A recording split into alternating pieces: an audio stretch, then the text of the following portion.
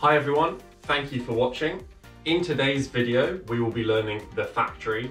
This looks a little something like this.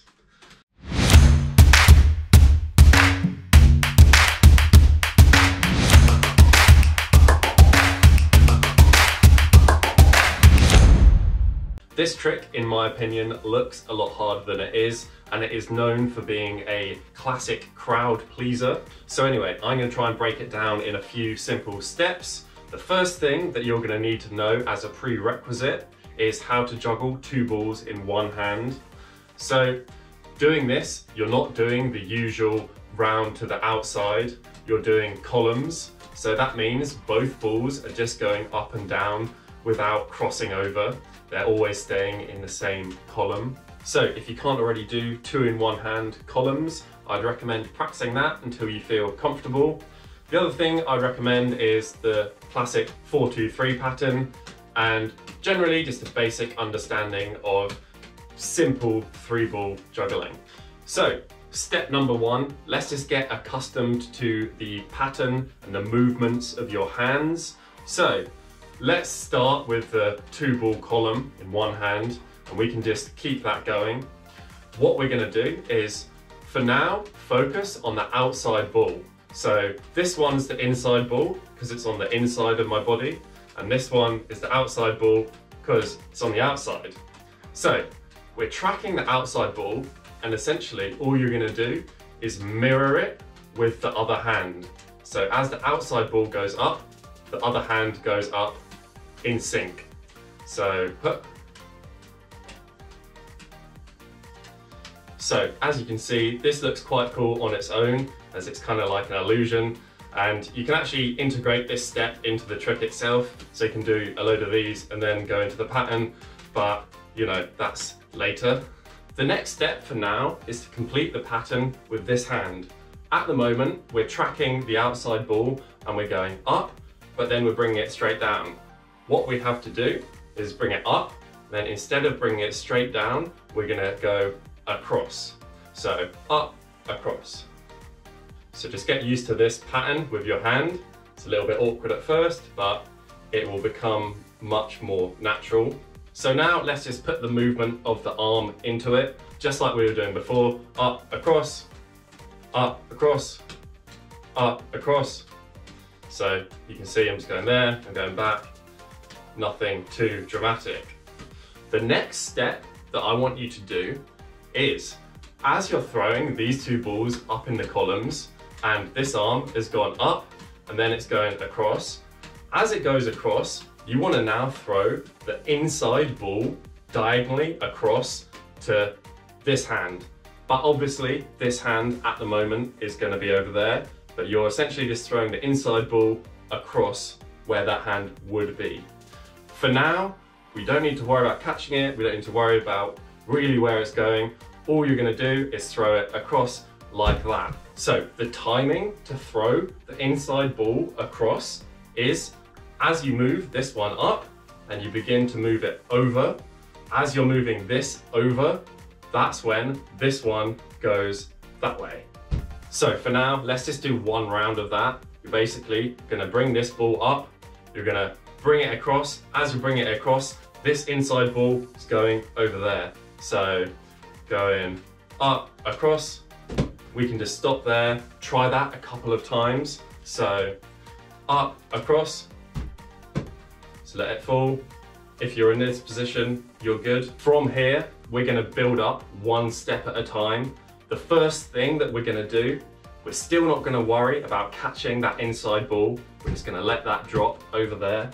The only ball we're gonna worry about is this one goes up, goes across, but this time we are gonna complete the movement. So as you've thrown the inside ball across, there'll be one ball here, one ball here. All you're gonna do is you're gonna drop this one down into the columns. But the only important thing to remember now is this ball is on the outside and the previous outside ball is now the inside ball. So that's gonna drop then you're back into the columns like this. Might be worth just trying that movement. You're up, cross, let's put that in with the three balls. So exactly what we were doing before, up, across, so up, across. Remember, just don't worry about the inside ball. All you have to do is make sure that you're throwing it up, diagonally, across. Once you've done this stage a couple of times and you're feeling more comfortable, time to complete it and catch that inside ball that we threw across. The easiest way to think about catching this ball is not like a normal catch, but instead like a down catch. Because if you imagine your hand has just gone over there and you're coming, you don't have to go exactly like this, but it's gonna be pretty much coming down like this. So it's a lot easier to catch this ball on the way down with a hand upside down. So yeah, maybe just get used to this catch a little bit. Start with your hand up, you're going down, bring it up. So down, bring it up. Just to get this pattern into your head. So down, bring it up. Down, bring it up. So if you're able to do all of this up to this point, then that's really great. What we've got up to so far is up, across, down. So the very next throw from this point is one inside throw. So that would be, let's imagine that's coming down. This one is the inside throw. I'm throwing it as this ball is being dropped. So it's up like that. And the very next throw is an outside throw. And with that outside throw, we restart. The outside throw comes up, as does this hand, goes up. Exactly what we just did, repeated. So, starts out what we just did. Go across, inside throw, outside throw, and there is the loop.